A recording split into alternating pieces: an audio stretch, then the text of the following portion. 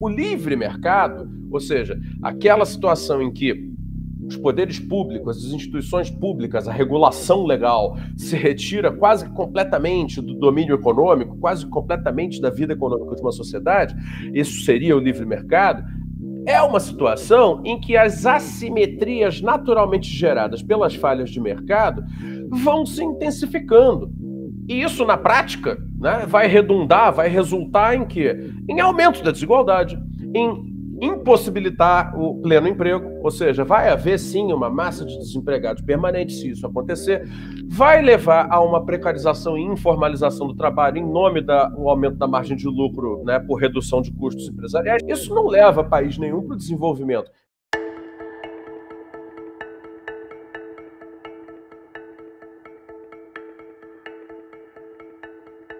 Olá, sejam bem-vindos a mais um episódio do nosso podcast Missão Desenvolvimento. Eu sou Paulo Gala e hoje vamos falar sobre Estado e mercado no desenvolvimento econômico. Aliás, mentira, todo o programa a gente fala sobre Estado e mercado no desenvolvimento econômico. Não teve sequer um podcast, talvez, que a gente não tenha abordado essas duas dimensões ou esses dois lados né, sinérgicos do desenvolvimento econômico, que é o lado do Estado e o lado do mercado. Né? Mas hoje é um programa para a gente muito especial, porque a gente vai receber o Fausto Oliveira, que é um escritor, um jornalista conhecido, importante, amigo nosso aqui do programa, que tem dado muitas contribuições, muitas sugestões, que vem trabalhando nesse tema é, há um bom tempo e que lançou esse livro recentemente, cujo título é justamente Estado e Desenvolvimento. Né? Existe solução fora do livre mercado. Então, para a gente é uma grande honra, um grande prazer. Fausto já é, participei com ele de vários é, outros carnavais, por assim dizer, né, de é, várias empreitadas em relação a toda essa discussão de desenvolvimento econômico do Brasil, do mundo, é, de globalização, desses temas que são tão apaixonantes né, para a gente, Fausto. Então é uma, é, uma, é uma honra enorme poder receber o Fausto aqui para falar um pouco desse livro dele que está sendo lançado, né, e fico muito, muito feliz de você topado, né, de você ter topado, aceito o nosso convite, Fausto, eu vou te passar já a palavra, vou te pedir para você contar um pouquinho de você, para muita gente, provavelmente a maioria te conhece já, mas tem algumas pessoas que, que não te conhecem ainda, então conta um pouquinho da sua trajetória, né, do que você tem feito, da, do seu interesse, né, de como é que você virou um economista, né, que eu já disse que também, além de jornalista e escritor, para mim você também é um economista, né, então conta para a gente um pouco das suas, das suas andanças e das suas peripécias, das suas peripécias. Seja muito, muito bem-vindo. Obrigado. Obrigado, Paulo. Poxa, para mim é uma honra tremenda estar aqui no Missão Desenvolvimento. Sou um baita de um admirador desse programa da FBNDES desde que ele começou. Acho que de todas as iniciativas que a gente vem é, impulsionando na internet nos últimos anos em favor do renascimento do, do, debate pelo desenvolvimento do Brasil, a FBNDES deu um passo crucial é, por ser uma, uma entidade, vamos dizer assim, sindical, né, ligada a uma carreira pública estratégica para é, as pretensões do Brasil de futuro, né, pela via do desenvolvimento, que ela tenha né, tomado essa iniciativa. Portanto, é uma coisa diferente, né? Não é só o meu canal, o seu canal. Então, uma iniciativa de uma FBNDES de entrar nesse debate com essa importância é, é muito relevante. Então, eu saúdo e agradeço muito estar participando do Missão Desenvolvimento aqui pela primeira vez. Bom, eu sou de carreira, assim, de profissão, sou um jornalista, né? Como disse o Paulo, que sempre né, fui muito influenciado pelo debate econômico, porque é, a maior parte da minha atuação como jornalista foi na área econômica. É, tanto participei de, de, editorias de economia de veículos convencionais, como né, trabalhei no estado de São Paulo e fiz algumas contribuições ali, ainda muito novo, né, portanto, contribuições muito é, pouco significativas na questão da economia, mas era uma, um aprendizado, né, de certa maneira, serviu como introdução para alguma coisa que veio a se desenvolver na minha carreira depois, com aquilo que a gente chama de jornalismo. Alguns chamam de jornalismo setorial, outros chamam de jornalismo técnico. Eu prefiro chamar de jornalismo industrial, porque eu passei largos anos da minha vida profissional tendo interação constante, praticamente diária, muito frequente e muito interna, muito próxima com o setor industrial. Né? Eu trabalhei anos em jornalismo é, de uma numa empresa, né, especificamente é, internacional, que cobria, né, ou seja, fazia jornalismo sobre é, setores de bens de capital. E os setores de bens de capital, como o pessoal deve saber, é, são naturalmente fundamentais quando se pensa no desenvolvimento. São eles que possibilitam o aumento de produtividade, né, multiplicação do, do, da produtividade de uma economia através da, da, da, dos ganhos de escala e ganhos de competitividade. Para o né? estamos falando de máquinas, né, Fausto? As máquinas. Máquina, máquinas, equipamentos, insumos complexos, né, componentes, peças raras, peças difíceis de fazer. Estamos falando de pura complexidade econômica, né? Bens de uhum. capital são pura complexidade econômica. É claro que vai ter gradações, né, entre os próprios bens de capital. E eu acabei é, conhecendo uma variedade enorme dessa, de, de, dentro dessa indústria, né? Dos bens de capital mais assim, daqueles complicados que você olha e não consegue nem entender para que serve, até aqueles mais comuns, assim como ferramentas de mão, etc. Então, isso me trouxe uma, uma percepção né, empírica, naturalmente, né, é, da realidade da economia muito grande, muito forte. Né? E, por outro lado, ao contrário dos meus, da maioria dos meus colegas jornalistas que trabalhavam nesse setor, eu desenvolvi uma certa paixão por compreender o processo econômico a partir daí. Né? E fui estudar um pouco de economia. Eu não tenho uma formação, é, de, não tenho um diploma de economia, mas realmente eu, eu, eu me esforcei bastante nos últimos muitos anos para tentar compreender essa, esse cipoal né, da economia. Então fui ler, fui ler, estudei informalmente muita coisa, fui ler teóricos, fui ler livros é, que são resumos explicativos, e acho que, de certa maneira, consegui formar uma visão que eu coloco nesse livro aí, que a gente vai comentar daqui a pouco, né? Uh, porque eu acabei virando uma pessoa que traz uma, uma, uma, vamos dizer assim, uma visão empírica da realidade da economia muito forte, né, que complementei com uma visão teórica e um diálogo, que eu acabei tendo esse privilégio, um diálogo muito profícuo, muito produtivo, com grandes nomes né, da economia brasileira, né, da, da, economia, eu digo já da ciência econômica brasileira, como o próprio Paulo, que está aqui, Opa, e vários, vários dos nossos amigos em comum, não é? É, e vários dos nossos adversários teóricos também, por que não dizer, né? É, ajudam a estimular o raciocínio né, na, na, nos questionamentos que eles colocam. Então, eu acabei participando desse, desse meio, desse, dessa conversa enorme, uhum. sem fim, né, uma conversa muito disputada, muito, é muito tensa, né, por vezes, em que eu coloco uma contribuição que é essa, quer dizer, eu tenho, eu tenho algumas informações práticas que, aliadas a uma visão dos teóricos, né, dos professores, dos economistas de verdade, aí a gente consegue fazer isso que a gente está fazendo há anos e está dando muito resultado, um resultado muito bom. O lançamento desse meu livro está comprovando, Paulo, que é, uma visão pelo desenvolvimento do Brasil, uma visão moderna, uma visão diferente daquelas do passado, porém que resgata certos valores fundamentais, já renasceu. Ela está aí, está uhum. andando. As pessoas me dizem que é, se sentiram é, novamente contempladas com o renascimento dessa visão. E agora, quer dizer, estamos talvez uma segunda fase, né? A fase de transformar isso num debate mais massivo dentro da grande mídia, etc., que eu sei que você também ajuda a fazer uhum. nas suas contribuições. Então é mais ou menos essa a minha trajetória. Acho que a gente pode partir uhum. aí para comentar o livro e outros assuntos, se você quiser. Fantástico. Então, nos conte, existe solução fora do livre mercado? Eu gostei do subtítulo do seu livro, né?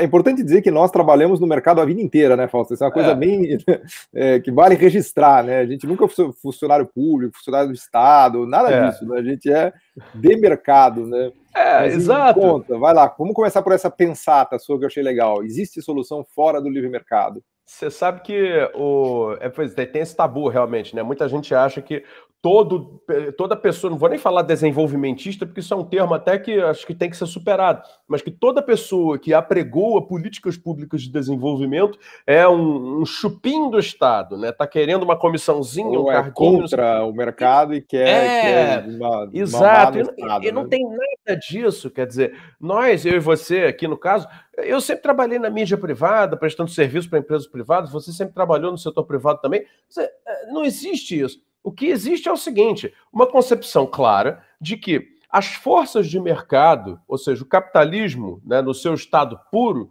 né, não gera né, condições e circunstâncias suficientes para tirar um país como o Brasil, com sua geografia, com sua economia, com suas desigualdades, etc., dessa situação né, desagradável, que é do subdesenvolvimento, de uma desigualdade tremenda, em que uns poucos têm acesso a boas condições de vida e a imensa maioria não tem, né, e levar para aquilo onde, por exemplo, sociedades que hoje são consideradas exemplos de democracia, exemplos de funcionamento da, das instituições, chegaram, né? A exemplo do Japão, da Coreia, da Alemanha, norte da Europa, etc, etc. Né? É, essa nossa disfuncionalidade, ela precisa ser corrigida através de uma equação. E essa equação é exatamente como você colocou. É, ninguém aqui está dizendo, nem vamos dizer em nenhum momento, que o Brasil precisa transformar numa economia de autarquia, né? em que bastará abrir uma estatal para cada coisa e aí tudo se resolverá. Isso é uma ideia insana. Quem estiver dizendo isso hoje está né, tá em outro tipo de agenda, não está na nossa. Né? É, no livro tem um capítulo que fica muito claro, quer dizer, o que, que é a ideia do Estado mais mercado? Existem, naturalmente, as chamadas falhas de mercado e as falhas de Estado. A compensação mútua entre ambas as falhas é que é essa arte. Né? Eu até coloco isso no livro, é quase uma arte. É um negócio difícil de fazer realmente. O problema é, né, é o livre mercado, ou seja, aquela situação em que os poderes públicos, as instituições públicas, a regulação legal se retira quase completamente do domínio econômico, quase completamente da vida econômica de uma sociedade, isso seria o livre mercado, é uma situação em que as assimetrias naturalmente geradas pelas falhas de mercado vão se intensificando. E isso, na prática, né, vai redundar, vai resultar em quê? Em aumento da desigualdade, em impossibilitar o pleno emprego, ou seja, vai haver sim uma massa de desempregados permanente se isso acontecer, vai levar a uma precarização e informalização do trabalho em nome do aumento da margem de lucro, né, por redução de custos empresariais, entre outras, vamos dizer assim, excrescências naturalmente geradas a partir de uma situação de livre mercado. Ora, isso não leva país nenhum para o desenvolvimento, isso leva à concentração de renda, isso leva à elitização né, do domínio econômico. Bom, sendo assim, naturalmente é óbvio que tem um pessoal que tem interesse nessa agenda. Quem? seriam né, aqueles que estão no uhum. topo da cadeia alimentar da economia brasileira e tem todo o interesse do mundo em permanecer ali e melhorar sua posição. Então, esses, é claro, vão querer uma, uma, uma situação de livre mercado. Agora, é, como colocou um, um, um, seguidor, né? Ele falou sobre o livro e disse assim: não, eu acho que só faltou uma coisa no título do livro, ele só faltou a palavra só. Eu falei, é só, mas onde tem que vai caber só? Não, eu acho que o livro devia se chamar Só existe solução fora do livre mercado. Foi o que ele falou. E não está errado, quer dizer, está certo. E o que não quer dizer que transformar a economia, é, a economia capitalista na qual nós vivemos uhum. e vamos continuar vivendo, numa economia estatista, né? uma economia autárquica. Isso não teria uhum. sentido. Né? As complementaridades entre Estado e mercado é que podem produzir aquelas circunstâncias que nós hoje, né, graças à nossa querida Marina Mazzucato, batizamos de missões, né, que é uma palavra uhum. carismática, muito interessante chamar de missões, né, uhum. né, tá aí missão pelo desenvolvimento, é, uhum. que podem, de fato, legar resultados é, é, é, é, assim, abrangentes, consistentes e que cara, podem né, ter efeitos concretos né, sobre a economia, sobre uhum. a empregabilidade, sobre os ganhos de competitividade via tecnologia e não via preços, né? Entre outras, entre outras uhum. várias é, é, externalidades muito positivas desse tipo de arranjo. Né? Mas é preciso ter é. a coragem de ir lá e fazer o arranjo. Né? Nós hoje uhum. estamos, não, não fazemos, nós hoje estamos numa situação em que a gente abre mão desse arranjo e parte para uma, uma, uma, guerra de todos contra todos, que é o, o que o Brasil está virando, né? O que eu acho, eu achei muito uma coisa muito legal do seu livro, Fausto, é que você tem essa preocupação de ir no detalhe, de, de mastigar, de ligar a tecla SAP, né? Que eu costumo brincar, né? De fazer um negócio realmente claro, didático, para as pessoas entenderem do que se trata, né? Do que a discussão se trata, né? É, então fala um pouquinho para a gente da lógica que você montou, né? Dos, dos capítulos, assim. É, como é que você atacou esse problema, já fazendo propaganda aqui para quem não para quem não adquiriu o livro ainda, já fazendo convite aqui para adquirir, que o livro realmente é fantástico, né? Conta para a gente um pouco da sua estratégia didática, assim, que eu achei que o resultado foi muito foi muito feliz, né? Mas queria ouvir de você, né? Esse desenho e, e, e como é que você foi, né? Porque você é um, obviamente, um jornalista de mão cheia, super talento, comunicador talentosíssimo, né? Então abre para a gente aqui a sua cozinha um pouco do do plano aqui, da, da estratégia didática do livro. Né? É, sem dúvida. É, quando a editora de cultura me convidou para participar dessa coleção, é uma coleção, tem vários outros é, títulos, né? Já foram lançados três, inclusive o meu. É, eu pensei o seguinte: bom, eu vou aproveitar essa oportunidade então, para fazer, realizar o projeto que eu tinha desde antes, né? Quando existia a Revolução Industrial Brasileira, de fazer um livro síntese da minha compreensão com um propósito explicitamente é, popularizante, né? Eu olhava, sempre olhei, né, para esse processo que esse pessoal mais ultraliberal, alguns anarcocapitalistas, né, fizeram com seus institutos, com seus think tanks, de popularização da economia neoclássica e depois de vulgarização da economia neoclássica, até degenerado, umas compreensões completamente equivocadas, é, e pensava, cara, a gente tinha que fazer alguma coisa semelhante, a gente tinha que pô, pegar aquele, o velho estruturalismo, a economia da complexidade, né, todas as vertentes né, que nós sabemos que estão aí produzindo teoria de alta qualidade, de, de alguma maneira amarrar, simplificar e traduzir para o povão. E essa era a minha intenção. Então foi, foi por aí que eu, que eu norteei o, o Estado de Desenvolvimento. Então eu começo é, com uma coisa muito simples, né? Eu me lembro uma vez eu conversando com a professora Fernanda Cardoso, da, da UFABC, ela me contou como ela tinha achado, como ela tinha dificuldade de encontrar na obra do Celso Furtado uma definição de desenvolvimento. Até que um dia ela pegou e achou, num determinado texto, não me lembro agora qual, uma definição dele, né, sobre desenvolvimento. Eu falei, cara, eu acho que partir por aí vai ser, vai ser interessante, assim. O que, que é desenvolvimento, né? Todo mundo sabe que tem a ver com melhoria da qualidade de vida para uma imensa maioria de pessoas. Todo mundo sabe que tem a ver com, né, uma infraestrutura de uhum. qualidade oferecida a preços razoáveis. Todo mundo sabe que tem a ver com tecnologia produtiva disseminada na, na sociedade. Porém, como se define isso, né? Eu partia para uma, uma tentativa de fazer uma definição é, própria, que, claro, não, não, não, num contexto acadêmico ela é, é insuficiente, mas para um contexto de um livro que quer popularizar o tema, é uma, uma, uma definição que, que eu acho que assim, é coerente. Que é o seguinte: o, o desenvolvimento é uma conjuntura geral de bem-estar. Né? E uma conjuntura geral de bem-estar depende de uma série de condições. A maior parte dessas condições é econômica. Né? Não tem como escapar disso. Existem outras condições, uhum. naturalmente. O bom nível educacional, por exemplo, oferecido às imensas maiorias da sociedade, é uma condição, não tenha dúvida disso. Né? Não haver é, é, pessoas, por exemplo, fora dos serviços básicos sanitários uhum. é uma condição. Mas tudo isso acaba desaguando no elemento econômico. É preciso haver o, o uhum. elemento econômico bem resolvido para que essa conjuntura geral de bem-estar é, aconteça. E aí eu começo a desfiar uma espécie de fio, né, um fio condutor, que vai sair dessa é, necessidade de uma conjuntura geral de bem-estar, que é algo que quem, quem pode ser contrário a isso? Né? É impossível uhum. ser contrário a isso, para chegar às seguintes conclusões. Bom, a gente precisa, primeiramente, então, voltar a planejar o futuro. Né? Então, assim, o primeiro conceito mais chave assim que aparece no livro é o do planejamento. Olha, não se, não se produz bem-estar para as maiorias né, sem planejamento, porque uhum. isso se, é, é, acontece em oposição ao livre mercadismo, ou seja, a economia planejada é oposta à economia do livre mercado. A economia do livre mercado gera assimetrias entre pessoas, entre empresas, entre regiões. Uhum. E a economia planejada reduz as assimetrias, ou seja, ela contribui uhum. para uma, uma conjuntura geral de bem-estar. E daí eu vou desfiando, né, um conceito atrás do outro. Então tá, precisamos de planejamento. Mas planejamento para quê? Para manter a economia tal como ela é hoje, mas é uma economia que está né, é, uhum. incapaz de oferecer empregos de, de, de, boa qualidade na quantidade que seria necessário. Então, o que precisa essa economia? Planejar para que se consiga oferecer essas melhores condições. Aí entra o debate de indústria, né? E aí o debate de indústria, bom, as indústrias são empresas privadas, então como é que a gente faz para planejar uhum. uma nova industrialização brasileira, sabendo que ela tem que ser feita em parceria com empresas privadas, porque elas necessariamente são empresas privadas, né? Então, assim, é, você precisa ter uma certa coordenação entre o ente planejador, que é o Estado, e o mercado, que são essas empresas. Daí vem o grande conceito, de, não é nem só Estado, nem só mercado, é Estado uhum. e mercado, né?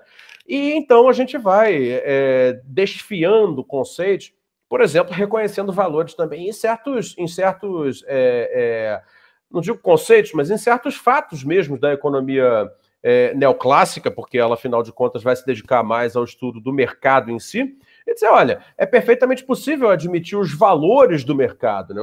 a, a, a agilidade e a, a, a, persecução de objetivos materiais um pouco mais intensa na parte das empresas privadas, no, num regime de competição. Reconhece-se isso, não tem problema. A questão é não deixar isso degenerar. Então, todo esse reequilíbrio da discussão uhum. É o objetivo desse livro. E sempre, como você falou, colocando ao resto do chão, colocando numa linguagem que eu, no fundo, o meu sonho é que assim, alunos do ensino médio lessem uhum. esse texto, né? E no final, quer dizer, a segunda metade do livro para diante, eu trato de dizer, então tá, então, feitas essas considerações, o que, que eu acho que o Brasil tem o direito e pode, né, na prática, uhum. planejar para construir futuro. Aí eu coloco, a partir do capítulo 6, que é Mapeando o Caminho, uma série de propostas. Então vamos lá. O Brasil tem isso, o Brasil tem aquilo, a gente pode investir numa missão assim, a gente pode investir numa missão assada, e, né, quem sabe, ao longo de um certo tempo, porque isso aí depende de um certo tempo, você conseguiria né, extrair resultados mais dignos, mais interessantes, mais consistentes para a sociedade como um todo, do que essa né, depauperação completa, né, em que 85% da população vive num contexto urbano, sem a uhum. menor capacidade de, de, de se beneficiar concretamente dos, é, da, da, única uhum. economia pujante brasileira, que é o agronegócio. Né? É um problema, é uma assimetria quase que demográfica essa que nós criamos, né? além de toda né, a discussão econômica que existe. Entende? Então é óbvio que a continuar uhum. assim, e mesmo com crescimento econômico propriamente dito, só o crescimento do PIB, a continuar assim, a sociedade vai se aproveitar de maneira muito diferente né, do que está é, colocado. E, naturalmente, o próprio crescimento está comprometido nessa estrutura. Então... E o então tema, o tema, assim, um tema para a gente explorar que eu acho legal também das multinacionais e da globalização, Fausto, porque é, tem uma coisa meio paradoxal aí, né, das multinacionais, né, que estão e, e da globalização, que é um processo fundamental para o desenvolvimento econômico, ao mesmo tempo em que ele te dificulta muito, né? É. É, para não falar da história de China também, né? Até podendo, se você puder dar uma entrada nisso também, você é um, o, eu acho muito legal você dividir, até já te pedindo para fazer um pouco disso aqui, dividir a sua experiência de multinacionais na prática, né? Porque você conviveu a vida inteira com as multinacionais, com os executivos e viajando nos países, assim, você é um você é um grande conhecedor do bicho multinacional, né? Você é como se você tivesse, entre aspas, trabalhado em infinitas multinacionais, né? Porque você teve, você travou contato com, com multinacionais do, do globo todo, né? Da Ásia, da Europa, da, dos Estados Unidos, né? Então, como é que fica essa relação agora pensando já em Brasil, né? Da aplicação dessas ideias, que é esse segundo bloco do livro da aplicação dessas ideias, né? Para pensar o Brasil, né? A relação do Brasil com o exterior, com o mundo, com as multinacionais, com a tecnologia? Né? Desenvolve um pouco por aí, se puder. Claro. É, o, o, o assunto multinacional ele acaba é, sendo completamente central né, na economia contemporânea. A globalização nos levou para isso. É, de fato, como você falou, eu, ao longo do, desses anos trabalhando no jornalismo industrial, por frequentar muitas feiras comerciais e, além do mais, ter visitado uma quantidade realmente significativa de empresas, todas elas transnacionais, eu, é, de fato, consegui ter uma visão bastante múltipla do que, que elas são, do que, que elas significam, do que, que elas querem, né, principalmente. É, é, é, é, aí que o debate começa a ficar realmente cascudo, né? Não é simples né, é, implementar isso que a gente está colocando.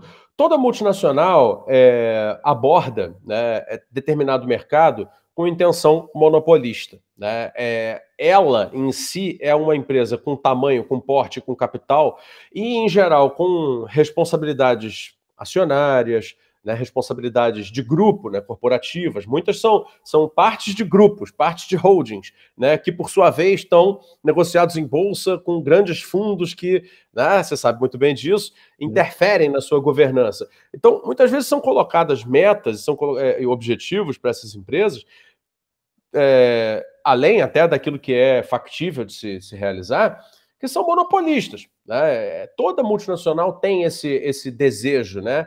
Ela não confessa, naturalmente, mas elas, o que elas gostariam que acontecesse é, é o domínio de 100% do seu mercado é, é a busca si de lucro, no, no, fundo, é a busca de algum poder de monopólio, né? Que a gente sabe. Né? Exatamente, exatamente. É claro que nunca se chega ao, ao monopólio, né? ao, ao, monopólio assim, no sentido estrito da coisa, mas formam-se os oligopólios, formam-se os cartéis, e quando se chega nessa situação é muito frequente de que elas façam acordos tácitos né? ou não escritos para que elas se destaquem da, das possibilidades de concorrência é, de novos entrantes e dividam, de certa maneira, dividam de maneira assim competitiva, porém bem dividida, o mercado mundial é, nos seus segmentos. E aí que cria um problema sério para quem é um país periférico, um país que está precisando entrar nessa ordem, precisando competir nos altos níveis da economia mundial com as suas próprias multinacionais. Então, como é que o Brasil vai conseguir, de fato, é, chegar aos níveis de renda, aos níveis de é, extração de riqueza do comércio internacional, é, exportando produtos sofisticados, que são aqueles que podem nos levar para um caminho de desenvolvimento sério e consistente, sem ter empresas que tenham o mesmo porte e não estejam nesse nível de, de poder de monopólio, onde os concorrentes dessas empresas brasileiras ter, terão que competir. Não é simples, né? não é nada simples isso. É, eles boicotarão, né? não vão deixar ninguém é, tirar fácil esse, esse quinhão de mercado né? das, das grandes holdings internacionais, e, portanto, o que nos cabe aqui é o seguinte: fazer uma estratégia, primeiro interna, muito inteligente, de dizer, olha, vamos apostar nisso e não naquilo. Aqui a gente tem condição, aqui a gente não tem condição. Aqui a gente faz uma estratégia de inserção, aqui a gente faz uma estratégia mais de ataque, né? E isso tudo tem que ser mapeado. Conhecer a realidade da economia brasileira nesse momento, tal como ela é hoje, é importante por isso, para fazer esse mapeamento. Eu te diria, por exemplo, que uhum por melhor que tenha sido nosso esforço na microeletrônica, eu acho que deveria ter sido mantido, evidentemente, é, ele nunca teve o potencial de fazer uma. levar o Brasil para uma disputa de gente grande com os verdadeiros dominadores do mercado mundial de semicondutores. Não tínhamos. Porém, né? Continuamos tendo, tínhamos e continuamos tendo, o potencial de fazer uma disputa de gente grande em alguns outros setores. Né? E aí, é, vou citar o caso que eu gosto muito de citar, aparece pouco no debate, né? é, entre países, né, o caso da Turquia. A Turquia investiu há 40 anos atrás na conformação de setores de média e média alta complexidade, visando a disputa com gente grande no comércio internacional. Foram 40 anos, mas nesses 40 anos, uma coisa aconteceu já de muito boa. O PIB per capita da Turquia fez uma inclinada bacana para cima, então o país enriqueceu. Só o processo já levou o país a enriquecer. E segundo, né, como eu conheço as marcas e as, e as, e as, e as tecnologias, né, os mercados onde elas estão, posso dizer, a Turquia começou a entrar, sim, competindo com os grandes, com os, os, os players mais significativos em mercados de alto valor. Então, veja, não é curto prazo, mas não é impossível. Depende, naturalmente, de uma coordenação estratégica entre as empresas nacionais e o Estado nacional. É sem isso que a gente pode chamar de projeto nacional, missão pelo desenvolvimento, pode dar o nome que quiser dar, não importa, mas sem isso, essa coordenação de um Estado ativo, né, inteligente, que pensa estratégia e né, uma, um conjunto de atores privados né, que deseje e que faça parte, que receba o incentivo, mas use bem o incentivo né, para fazer a saída do país e virar aquilo que a gente chama de uma campeã internacional, né, aí realmente vai ficar difícil. Aí a tendência é descida pelo ralo, que é, infelizmente, o movimento que o Brasil tem feito nos últimos vários anos. É, e a Turquia realmente é um caso é um caso difícil, né? Porque ela tem tudo errado, né, do lado da, da política, político, né, do Erdogan, da instabilidade macroeconômica, inflação fora de controle, ela está é. toda atrapalhada, mas ela tem esse outro lado tecnológico que ela realmente consegue avançar. É até um caso meio constrangedor, assim. né? E é até é. meio constrangedor, porque ela de fato tem um avanço tecnológico relevante dos, dos pares emergentes. É, as empresas turcas têm conseguido fazer é, conquistar coisas é, impressionantes no mercado mundial, né? Eu acho que o caso, inclusive, serve de exemplo para o Brasil no sentido de dizer, olha, nós é que nós temos essa obsessão por estabilização né, permanente, mas nós já temos uma economia até, talvez até demais bem arrumada, né, é. para iniciar Bom, um processo... Turquia, o Brasil é Madre Teresa de Calcutá, né? Nós somos realmente a Suíça, né? Exatamente. Aí se a Turquia consegue, por que, que a gente não consegue? A gente nem tenta. Por que nós nem tentamos? Quer dizer, é uma pergunta que fica no ar. Né?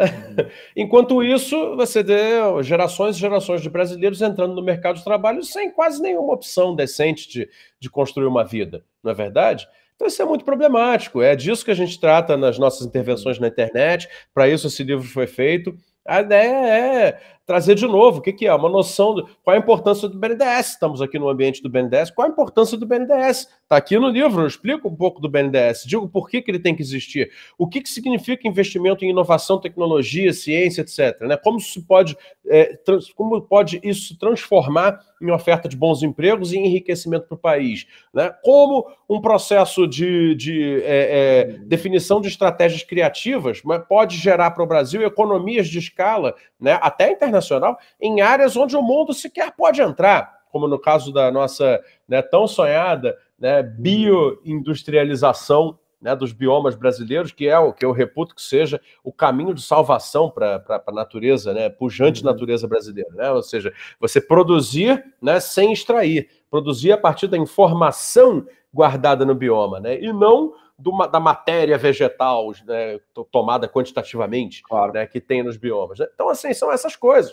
Né? O, o nosso é, é, conhecimento acumulado em novos materiais, o pessoal não sabe isso, aí tem no livro também, para a juventude poder saber. O Brasil tem uma ciência já estabelecida em novos materiais, que não é nova. Está aí há pelo menos 20, 20 e poucos anos sendo estudada nas universidades. Vira produto? Não, não vira. Né? A nossa farmacêutica, eu vou até compartilhar contigo aqui o caso que eu soube mais recentemente por causa de uma pessoa da minha família. Fez um tratamento experimental na Universidade de Campinas com um medicamento para câncer, chama Oncoterade, desenvolvido na Universidade de Campinas. E resulta que o tratamento é de alta eficácia, de alta eficácia. O negócio funciona que é uma beleza.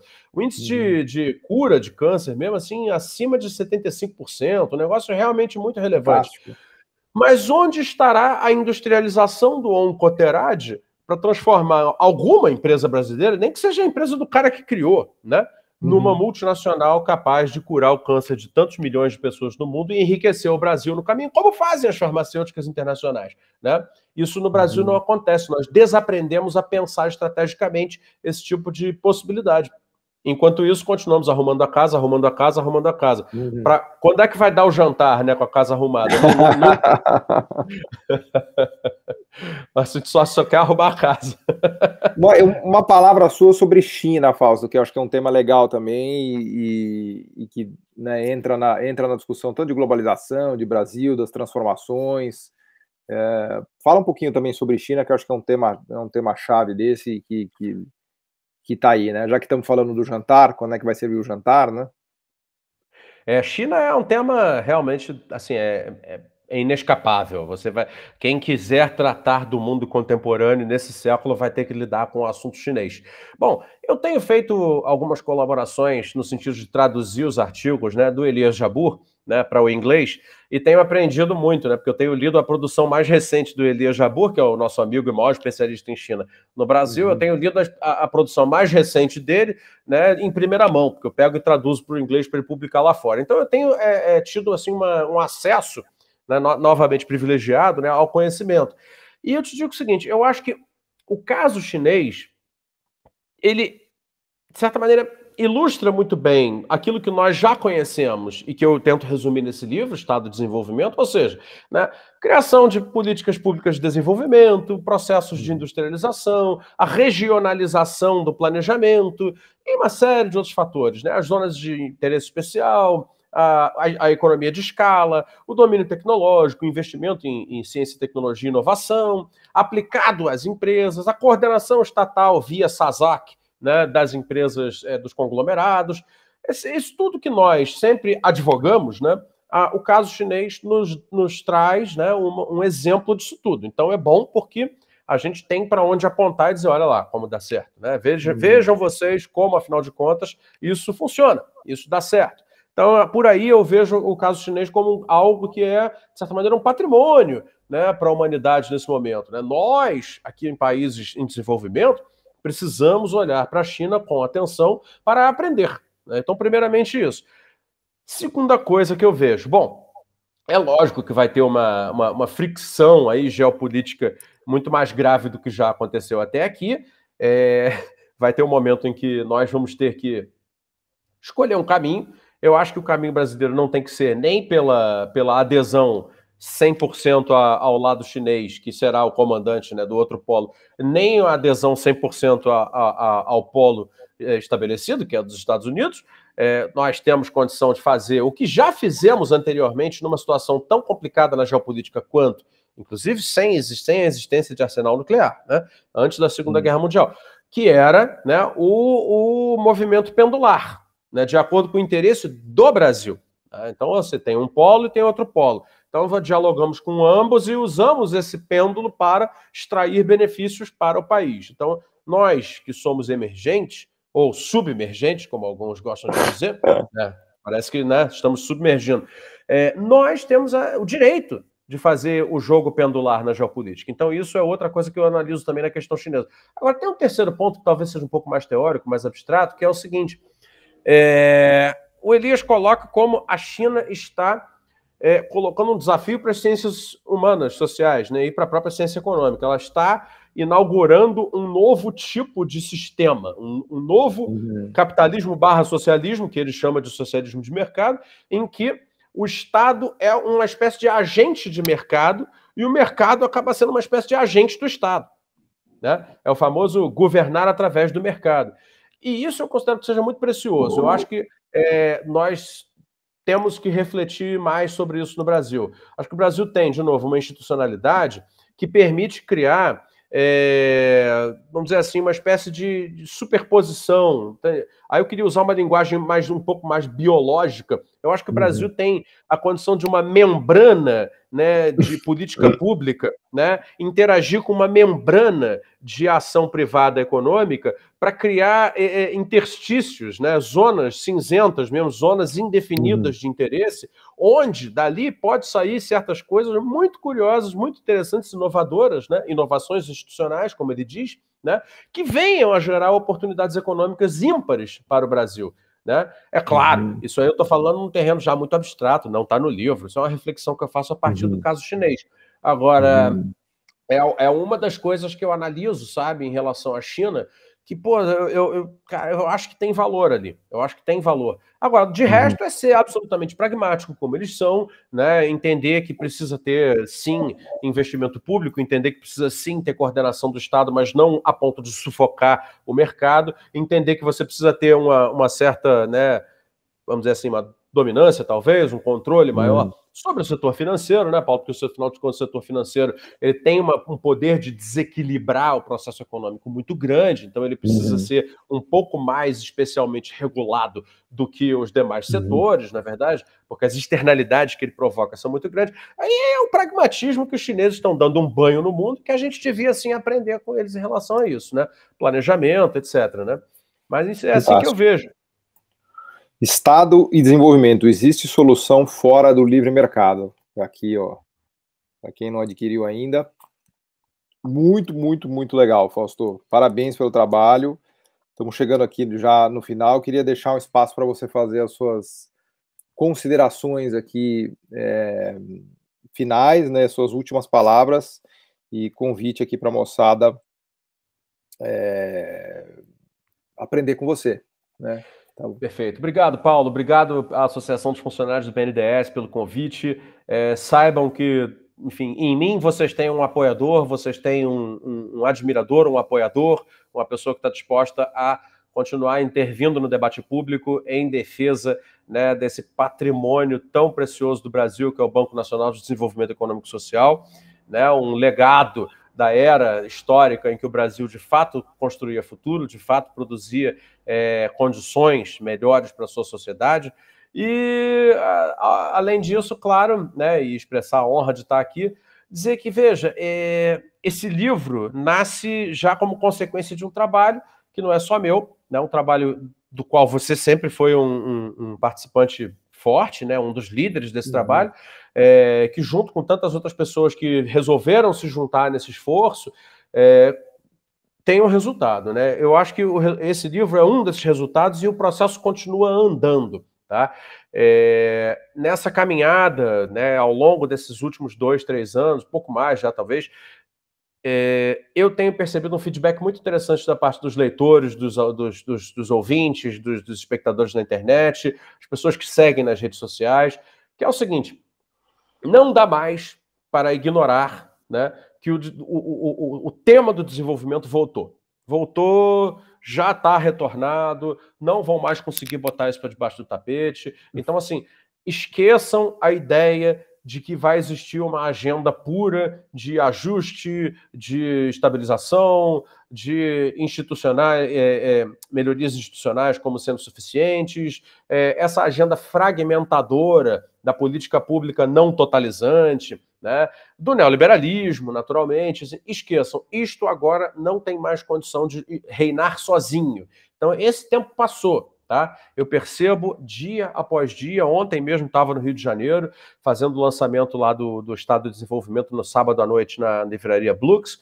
E pessoa atrás de pessoa que chegava para comprar o livro falava isso, cara. O trabalho de vocês é muito importante. Eu já mandei para tanta gente e família minha que já mudou de posição, eu era isso, eu era aquilo. Aparecem umas pessoas dizendo que eram, é, eram ANCAP e que viram aqueles nossos vídeos do Desconstruindo o YouTube Nomics, até hoje o pessoal lembra disso. Aliás, né? só faz uma, aproveita e faz uma propagandinha do seu outro livro também, que a gente não falou nele, do ANCAP, é, mas é importante sim. você tá com ele fácil aí, mostra ele tem, aí. Tem aqui, tem aqui. Então, pessoas que, tipo, gostavam daqueles vídeos e, e se diziam anarcocapitalistas e tal, agora dizendo, não, eu agora tô batalhando para divulgar vocês e tudo mais. É, muitos também foram influenciados né, pela leitura desse meu romance, é, o ANCAP, né? É uma história curta também, divertida, porém também muito cheia de reflexões a esse respeito, em que eu, sei lá, pela via da ficção, trato de uhum. é, anexar conceitos econômicos e exercitar livremente esses conceitos, porque é uma ficção, né?